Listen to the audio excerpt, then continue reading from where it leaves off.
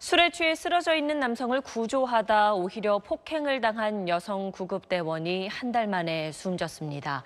머리를 수차례 폭행당한 뒤 급성 뇌출혈로 수술까지 받았지만 끝내 깨어나지 못했습니다. 남주현 기자입니다. 심하게 취해 길에 쓰러져 있다가 119 구급대원들에 의해 구조된 47살 윤모 씨. 구급대원에게 끊임없이 욕설하고 야, 넌 지금 나와? 이. 지금 뭐라고?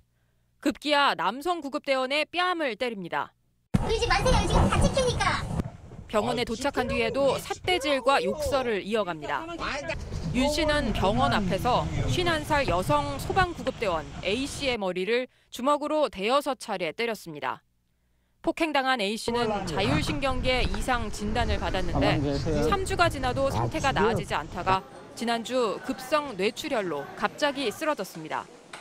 수술 후 치료를 받아왔지만 결국 오늘 새벽 숨졌습니다. 이제 어지러움증이나 두통을 계속적으로 호소를 하셔서 계속 호전이 안 돼서 이제 큰 병원에 진료 예약을 잡으셨던 중에 갑자기 쓰러지셔서 구급대원 A씨를 폭행한 윤 씨는 현재 소방기본법 위반 혐의로 불구속 기소돼 재판을 받고 있는데 홧김에 구급대원을 때렸다며 혐의를 인정한 것으로 전해졌습니다. 경찰은 윤 씨에 대해 폭행치사 혐의도 염두에 두고 추가로 수사를 진행할 예정입니다.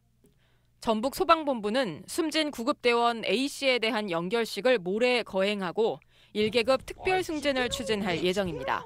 SBS 남주현입니다.